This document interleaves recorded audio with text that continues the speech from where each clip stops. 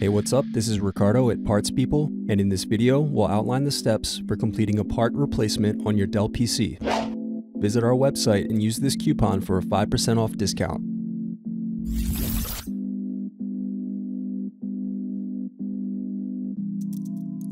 Unscrew and remove bottom base.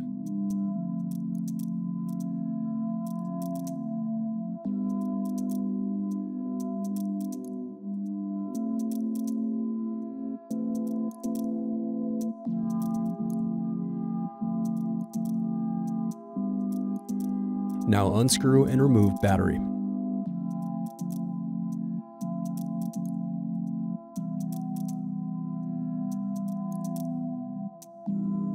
Disconnect antennas. Now unscrew and remove bracket, then disconnect display cable.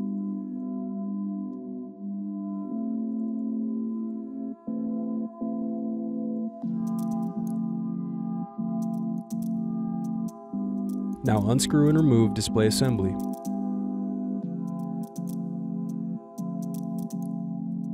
Now use fingers to separate and remove back cover.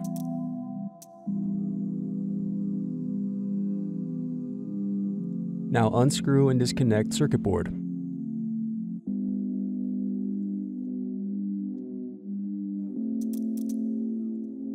Thanks for watching. Don't forget to like and subscribe if you enjoyed this video. And if you need more, check out this playlist to watch other tutorials for your laptop. You can also click here to find parts for your laptop at partspeople.com.